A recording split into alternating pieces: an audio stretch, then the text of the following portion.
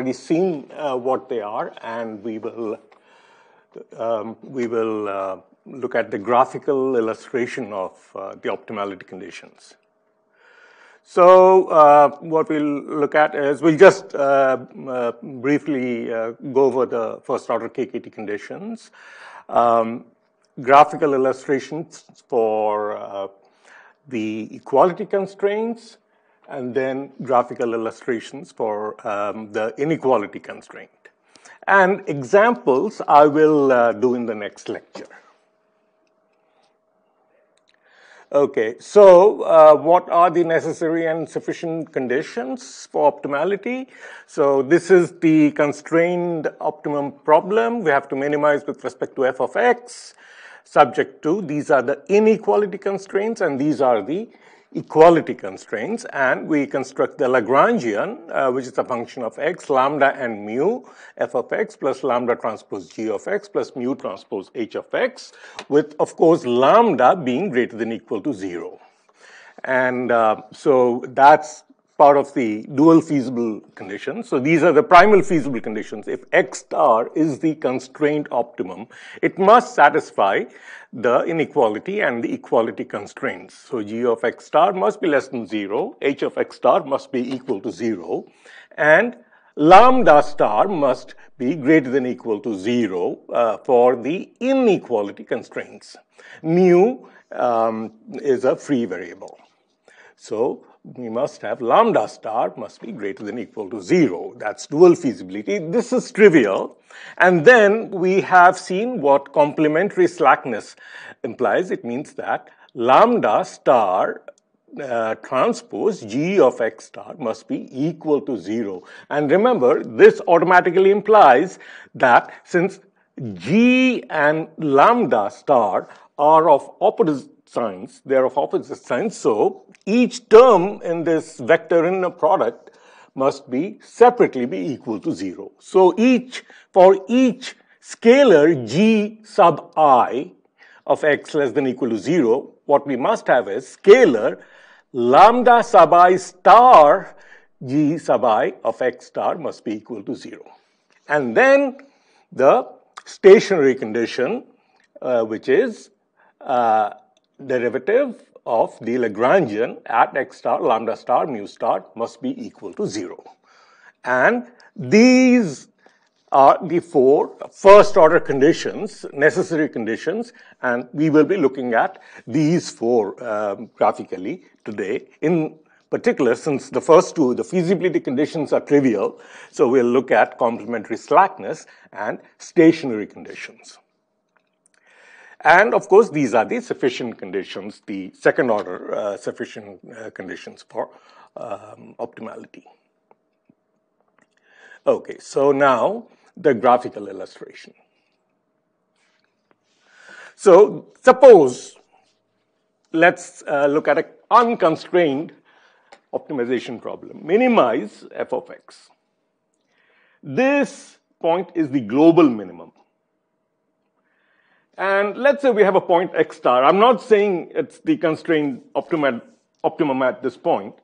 So what happens is, now these, uh, this is the gradient of f of x star at uh, this point x star.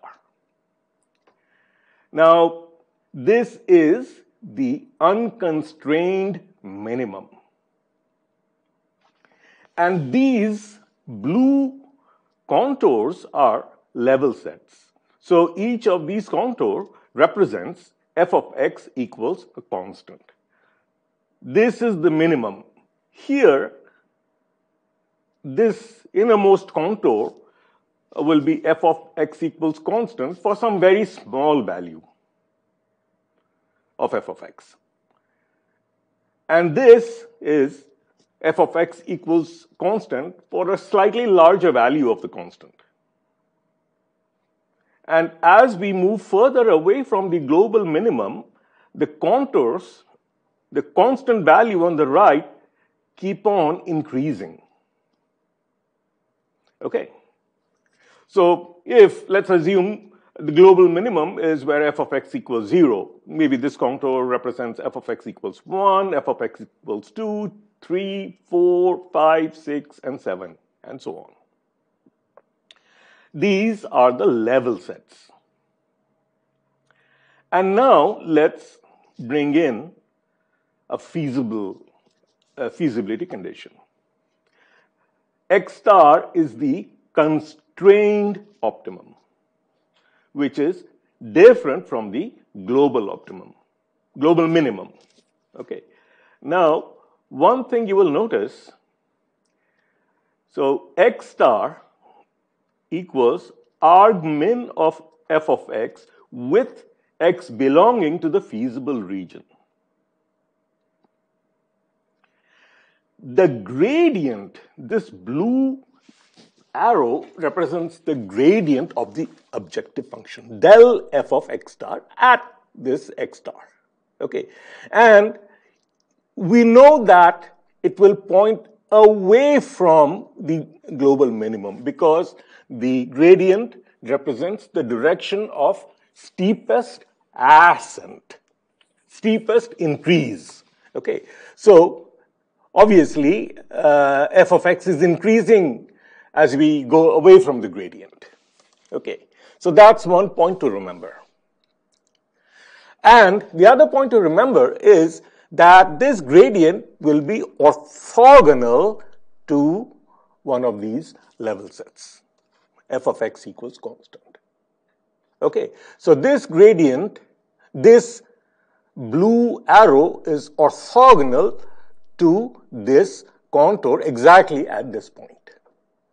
Okay, these are two important points to remember. It's pointing away from the global minimum and it's orthogonal to the level set. Okay, so now let's go to an equality constraint we have minimize with respect to x, f of x. So we want to minimize subject to h of x equals 0. Just a single equality constraint. So this red curve here represents h of x equal to 0. So it's only this red curve that's feasible. Everything outside, either on this side or on this side of this red curve, has to be infeasible. Correct? Let's assume that on this side, h of x is less than 0, and on this side of this red curve, h of x is greater than 0. Only this red curve, h of x equals 0, is feasible. And I'm uh, drawing the gradient del of uh, h of x at this point x star. That's this red line. Okay, so this is our feasible region, h of x equals 0. Now, since we assume that uh, h of x is less than 0 on this side and h of x is greater than 0 on this side, and it's just one case, okay? It could be the opposite. So in this case, what's the direction of the gradient of h? It must point in the direction of increasing h, correct? So h of x is greater than 0 here and it's less than 0 here. So it must point in this direction. h becomes positive. If we go on this direction, h becomes negative, right? Anywhere on this side, h is negative. So the gradient del h of x at this point x star is pointing in this direction. And remember that the gradient is orthogonal. This red arrow is the gradient of h. It must be orthogonal to this contour. h of x equals 0, this blue curve. So, excuse me, the red curve. Okay, now suppose we switch the signs. h of x is greater than equal, excuse me, strictly greater than 0 on this side, and h of x is less than 0 on this side. That means the gradient uh, would be pointing in this direction. Correct? Now, I just said that del h is orthogonal to h of x equals 0. Both in the previous case and in this case, this red arrow must be orthogonal to this red curve, h of x equals 0. Again, in this case, uh, where again I switch the signs, this red arrow, the gradient of h, must be orthogonal to h of x equals 0. Okay, now my claim is this is the optimum, x star, the constrained optimum. Okay. First of all, it has to be feasible, so it must lie in this red curve. Okay, and this I claim is x star graphically.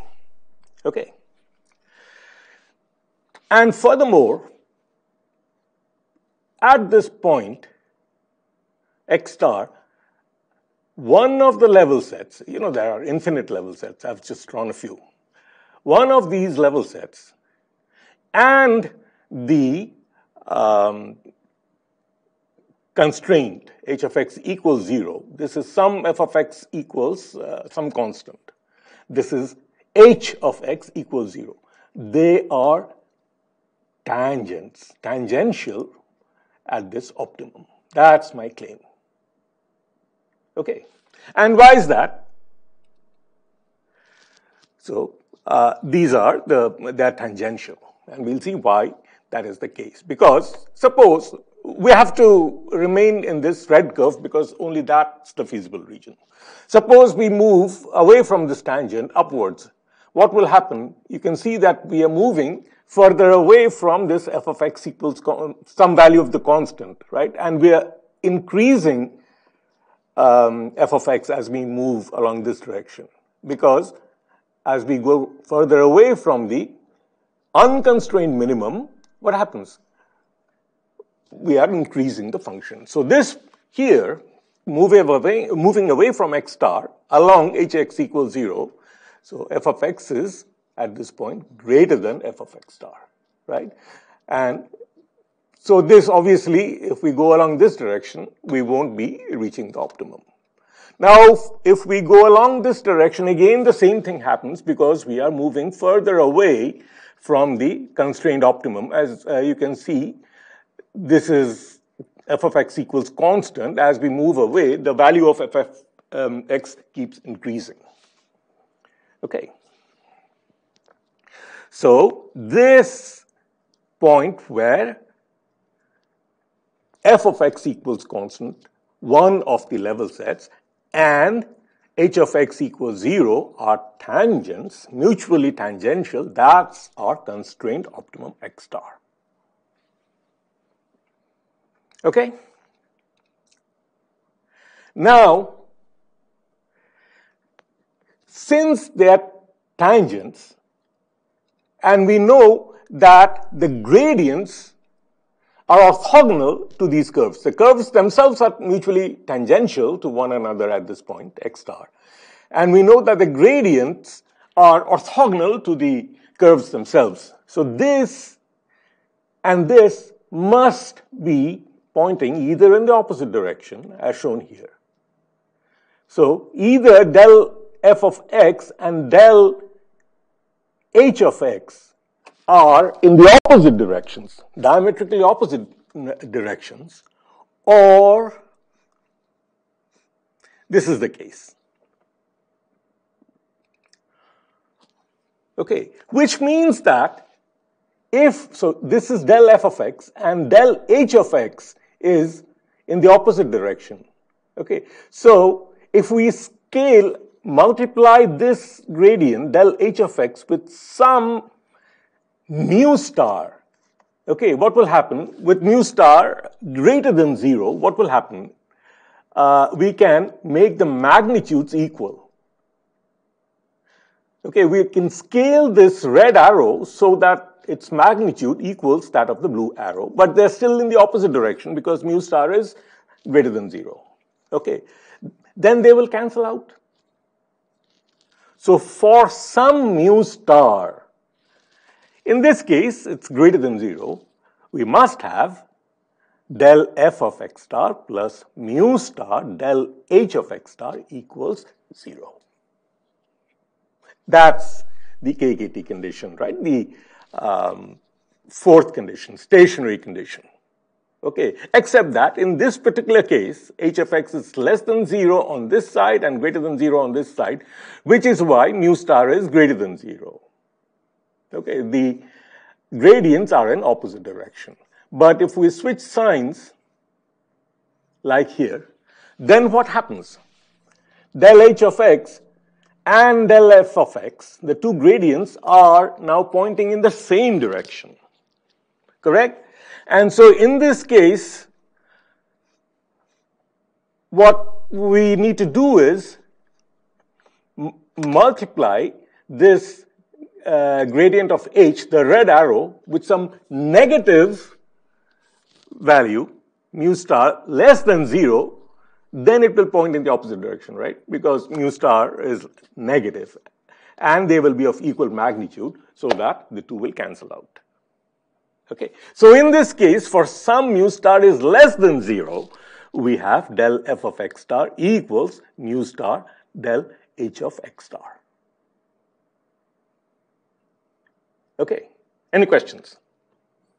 So the derivative of h of x uh, will work in the opposite direction of derivative of f of x? Yes. Um, to uh, hold the stationary condition for the stationary condition, well, both cases apply. Here, they are already in opposite directions. So we must apply some, we, we must multiply del H with some positive value, okay, so that the, uh, they remain in, in opposite directions, but the magnitudes are the same, in which case, uh, when we add them up, we get a zero. But in this case, they are already in the same direction. So may, to make them cancel out, so we must first of all scale it with some mu, but this mu must be negative so that this uh, red arrow flips direction. Okay, so it will point in this direction if we multiply with something negative. In that case, they can cancel out as long as the magnitude is the same. So what I'm saying is mu can be either positive or negative. So it means when we uh, solve those optimization equations to find this unknown variable, mu will automatically adjust itself according to the equation. Yes. If you use, for instance, uh, MATLAB's fmincon, uh, uh, minimization, uh, constraint minimization, fmincon, uh, you can put um, equality constraints and inequality constraints, and you will automatically get the optimum. MATLAB will solve it for you. And it will give you the values of mu, mu star and, um, of course, lambda star. So the dual variables, it will give you the value. And it will automatically, you will see that it will um, give you the correct sign, appropriate sign. Yeah, yeah, appropriate. Which can be either positive or negative. Because for an equality constraint, this mu is um, unrestricted. It can be plus or minus. Okay. As a special case, what if the gradient of h is equal to 0? Well, it's a vector, first of all, so because this is x1, x2 plane, we are considering uh, x is two-dimensional here. Okay, what if that is the case? h of x equals 0. Excuse me, a del h of x is equal to 0. That would not be a regular point. Okay. If you have one constraint, then it must be a rank one matrix.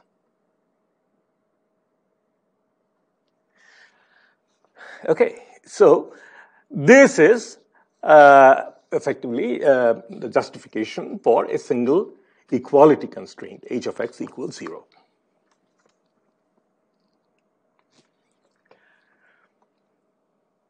So this is the general situation. Mu star can be either greater than or less than equal to 0, but it cannot be equal to 0.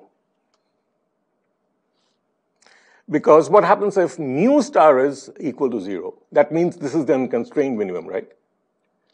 Del f of x star is equal to 0.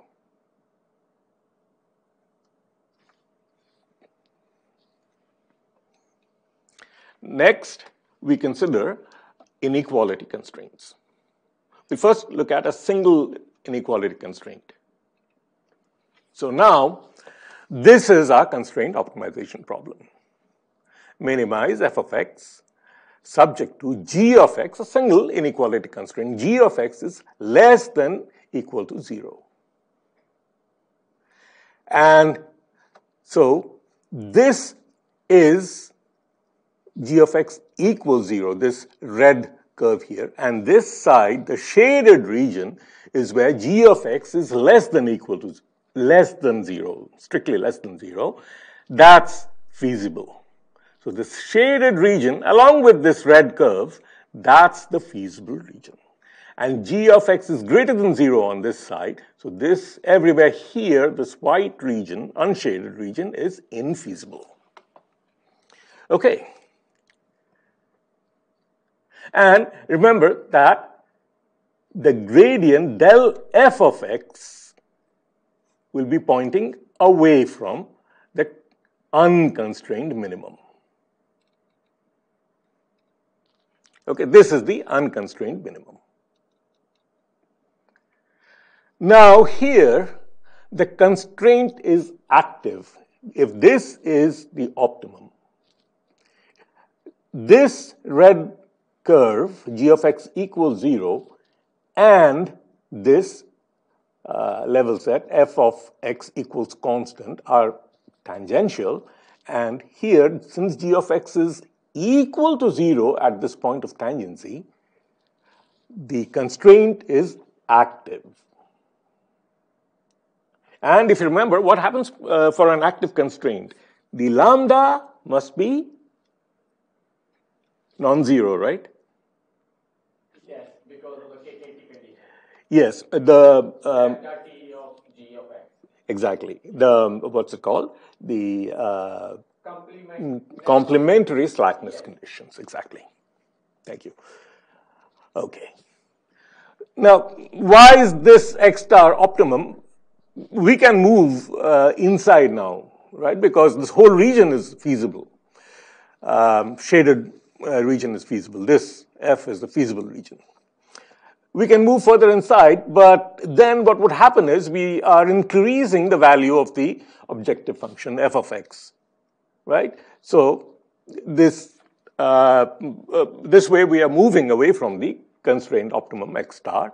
And as we saw before, if we move um, along um, this uh, g of x equals zero, here again uh, we are increasing the objective function f of x, and if we are moving in this direction, again we are increasing the objective function, which is justification why this x star, the point where these two curves, the blue curve and the red curve are mutually tangential. This is the constraint optimum. Okay, so this g of x equals 0, I repeat, and some level set f of x equals constant are mutual tangents exactly at this constrained optimum x star. Okay, now we know the direction of the gradient of f, it must be pointing away uh, from the unconstrained minimum, right? Away from this dot. Now, what about del g? Yeah, you had a question? Yes. What is the function for these contours? g of x is less than equal to 0. Oh, uh, function for these contours? Yes. These blue. Yes. So let's say this is f of x equals 0, this represents f of x equals 1, Okay. this is uh, f of x equals 2, f of x equals 3, f of x equals 4, and so on. So the constraint minimum um, uh, is where f of x equals 4, if that is the case. Okay.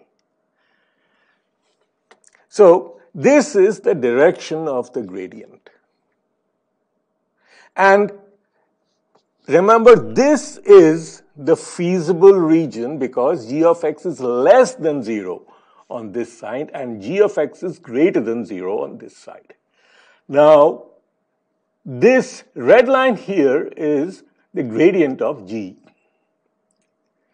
What can you say about the direction of this red line, the gradient of um, g, it must point in the direction of increasing values of g, right? And g of x is greater than zero here. If we go to this side, the feasible side, g of x is less than zero. So the direction of, direction of increasing g, ignore which is feasible and which is infeasible, direction of increasing g is in this direction. Correct?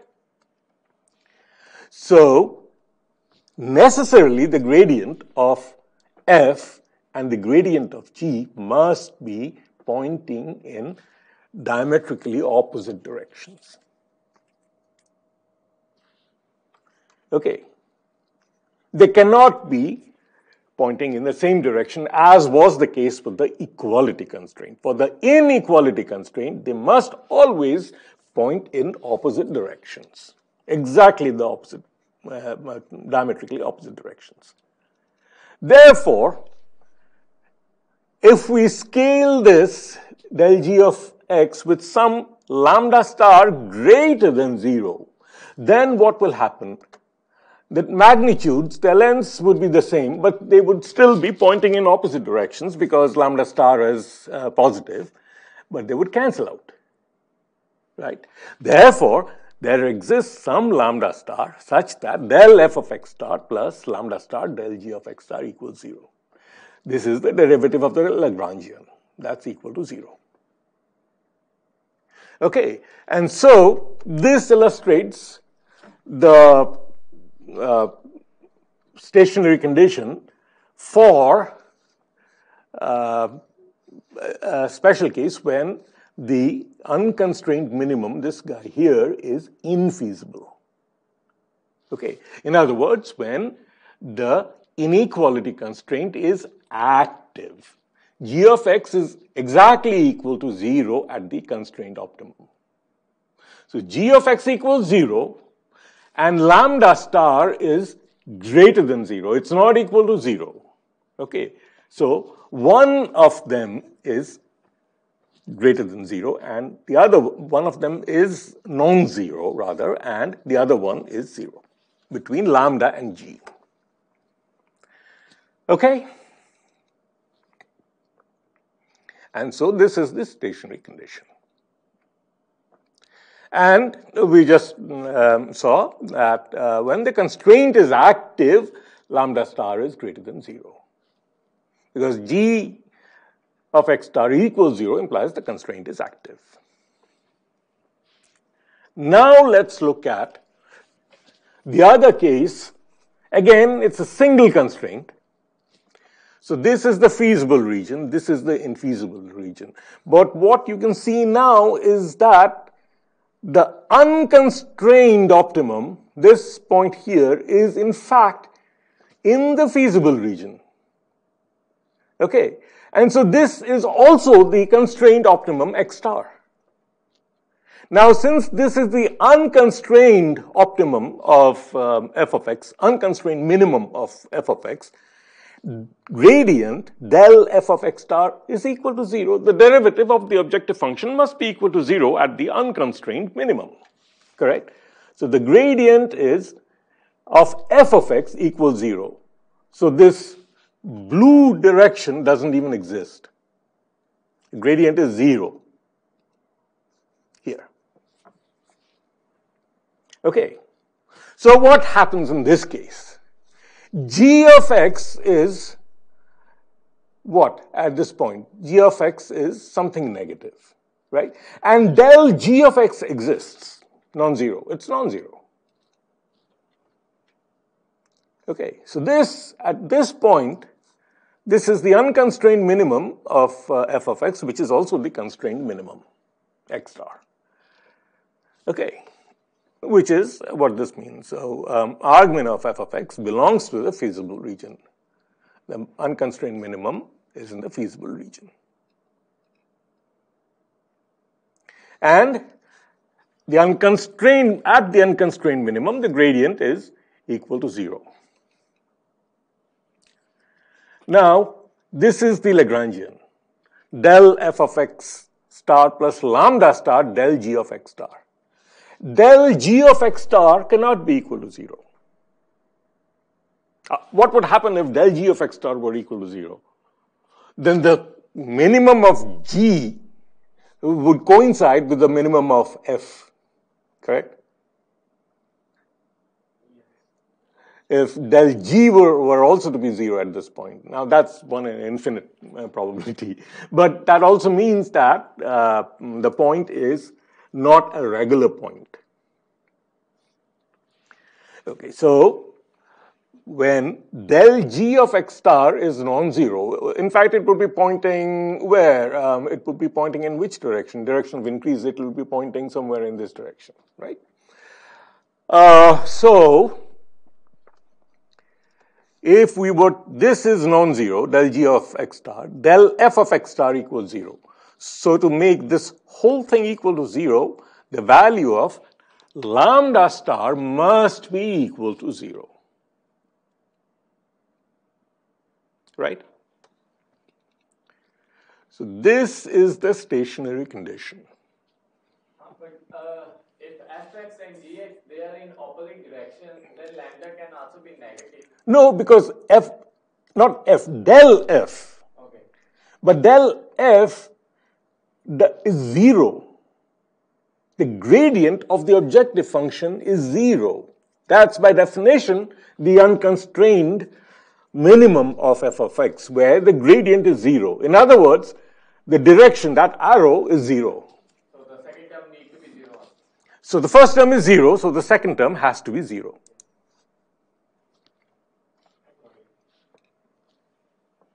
Okay, so we check the stationary condition and now look at the complementary slackness condition. Here the constraint is inactive. It's only when g of x equals zero, that's where the constraint is active. Inside this, uh, uh, on this side, uh, that's the interior of f, right? Uh, there, the constraint is inactive. So for an inactive constraint, g of x is always strictly less than zero. It's strictly negative. And in this case, we just saw that the dual variable lambda star must necessarily be equal to zero.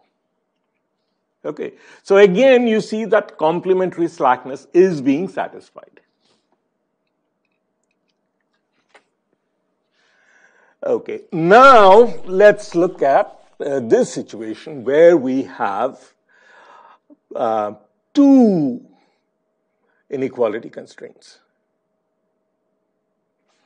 Uh, it doesn't show up here, but uh, this is shaded very light green. Okay, now what happens? What's the feasible region? It's the intersection of this shaded region and this shaded region, which is uh, it's not be, uh, uh, visible, but well, you can barely see it. Uh, you see that this this blue becomes lighter here. This is the shaded light green. Okay, so it's the intersection of these two feasible regions. That this is the feasible region F, where both G1 less than equal to zero and G2 less than equal to zero must be satisfied. In this orange region, g1 of x is less than 0. In this green region, g2 of x is less than 0. And it's only here where both g1 and g2 are less than 0. So this is the feasible region. And one can easily argue that at this point you have the constraint optimum. You have to move, you have to move this uh, black dot along the feasible region. But wherever you move it, you will be moving further away from the uh, some this contour. Okay, now the directions of f of x, g1, uh, sorry, excuse me, uh, directions of del f of x del g1 of x and del g2 of x are shown here the blue, the green, and the red uh, arrows. this, this is a constrained optimum, okay? Can, uh, let's look at, uh, this is, I didn't draw the tangent. Now, what can you say about the inner product? Or maybe the angle between del f of x and del g2 of x and del f of x and del g1 of x. The angle has these angles between the blue arrow and the green arrow or the blue arrow and, and the red arrow, these angles must necessarily be more than 90 degrees. Okay. What if it were less than 90 degrees? I don't have that slide, but I can just create one for you. Uh, but remember this point. So, in other words, for some linear combination of del G1 and del G2 with positive arguments, uh, with positive weights, lambda 1 star and lambda 2 star. Lambda 1 star and lambda 2 star must be positive because these angles must be greater than 90 degrees. So they must be pointing away from uh, del f, somewhat in the opposite direction, uh, in uh, antagonistic directions. Okay. So lambda 1 star and lambda 2 star, for some scalars like that, the weighted combination of this must equal del f of x star. And that's the KKT condition. Okay. Now, I don't. So everything put together, let me just summarize um, once again. Uh, so this is, we looked at uh, briefly uh, the case with two uh, constraints. And you can generalize the situation if you have one equality constraint, one inequality constraint. If you have uh, one, uh, if you have one uh, uh, uh one um, inactive uh, equality constraint. So you can look at all possible cases and you will arrive at the same conclusion. Okay, and so this is the constraint optimization problem. To summarize, this is the Lagrangian. These are the first order necessary conditions. And this is the second order sufficient condition for optimal, uh, optimality. Now, general case, suppose uh, you are faced with a COP where you have a greater than equal to inequality constraint like this. Okay. In that case, what you do is just put a negative here correct? That's uh, equivalent to, um, so uh, if this is the case, then that's equivalent to saying that g of x, you replace it with negative g of x. Okay, because these two must be of opposite signs. Otherwise, what you can do is, you can still assume that lambda star is greater than zero, but you can put a negative sign here. In which case, these, uh, the g and lambda are of the same sign, but we have a negative here. Okay, now what if we have a maximization? If we have a maximization problem, then we can either put a negative sign here, but the constraint um, lambda star uh, greater than equal to zero remains the same.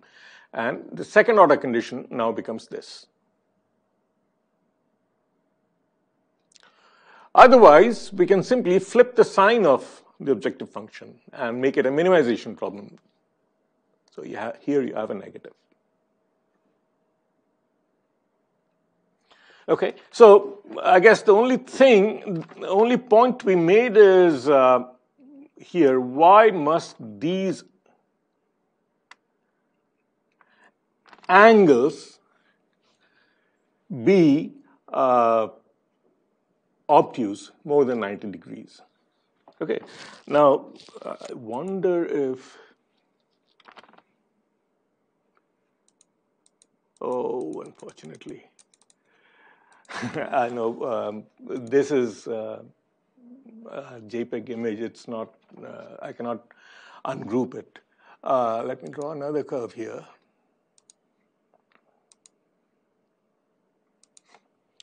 So suppose, let me, this,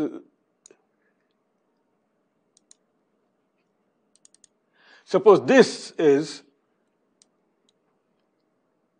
another, uh, let's do uh, this here. Okay, and uh, shape fill, let's fill it with some other color. So let's say this is another uh, um, feasible, um, sorry, uh, inequality constraint. And this side, we'll call it G3, okay? So this is G3 now.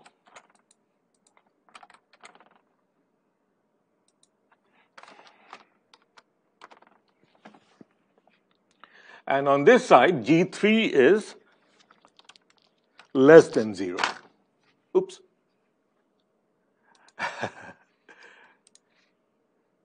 G3 is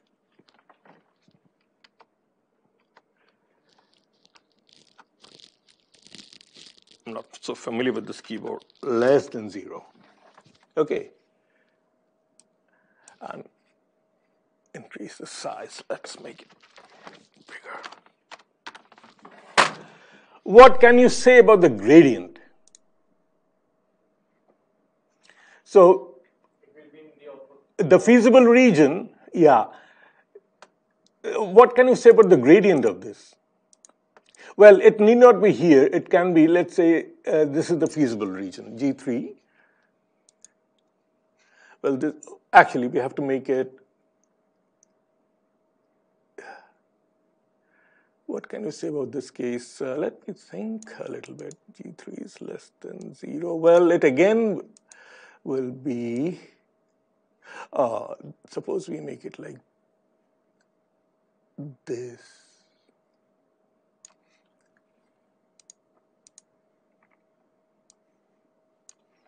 And we have, uh, let me do it this way. I'll copy spot and move it. Let me select a picture here. Maybe move it here.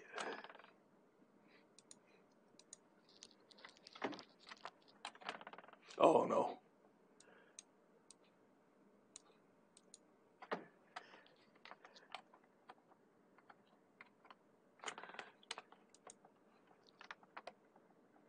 Just to make it clear. Sorry about this. I realized this point only when I was, I don't know what happened again. This, I want to put it here. Okay.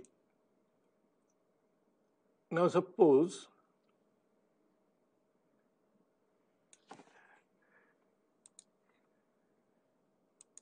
send to back.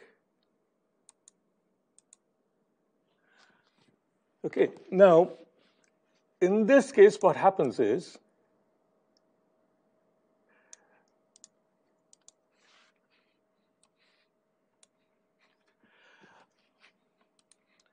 the gradient will still be in this direction, unfortunately.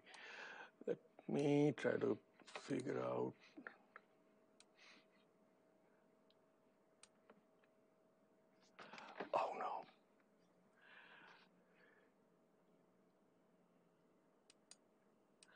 Oh, what I can do is this. I can make this the infeasible region. The shaded pink region is infeasible. Okay. Then what happens? If the shaded pink region is infeasible,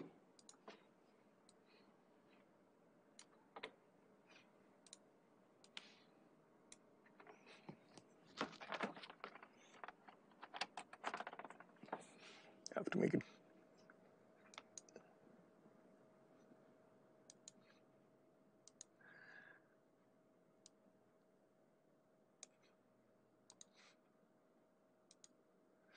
if this is this is infeasible now, okay, this side is feasible. what's the direction of the gradient?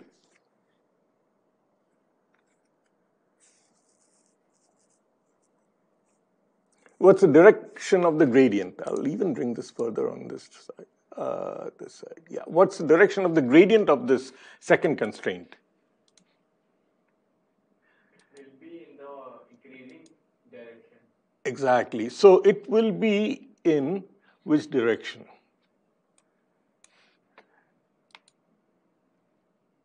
It will be, let's say, in uh, this is the positive, right? This is infeasible. So it will be in this direction.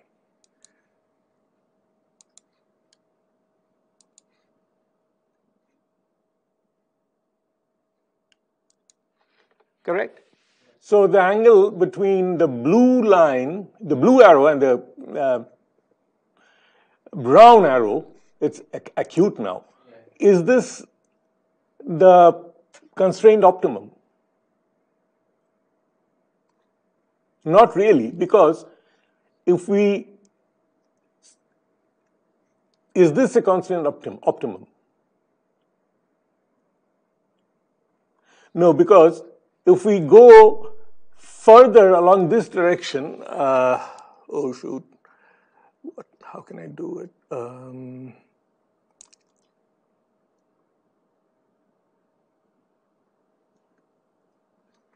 I have to uh, draw another. I have to do think about it and do it properly. But what would happen in this case is this would no longer be the constrained optimum. In fact, the constrained optimum would then be somewhere in the interior of the feasible region. Sorry, I'm not able to show it in this case, but I will make a point to uh, put that in the uh, slides. Anyway, with that, sorry about this mess, but with that, I had more time. That's why I uh, used this. Otherwise, uh, otherwise I'd have just uh, up. But this is the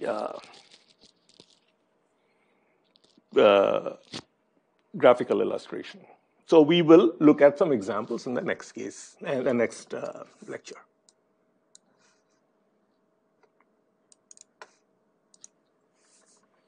Okay. Even uh, I maybe you know about another mathematical tool. It's called GeoGebra. Uh, it has to, we don't, I don't know if we have a ECE license for that. Uh, it's actually online website. It's a geometry and algebra mixed together. Oh. So you can make a very nice demonstrations on GeoGebra, a graphical demonstration. Really? Yes. I see. So some kinds of on, on a YouTube, some uh, lectures, some le- instructor use GeoGebra just to explain the concept. I see. Well, that, that's interesting.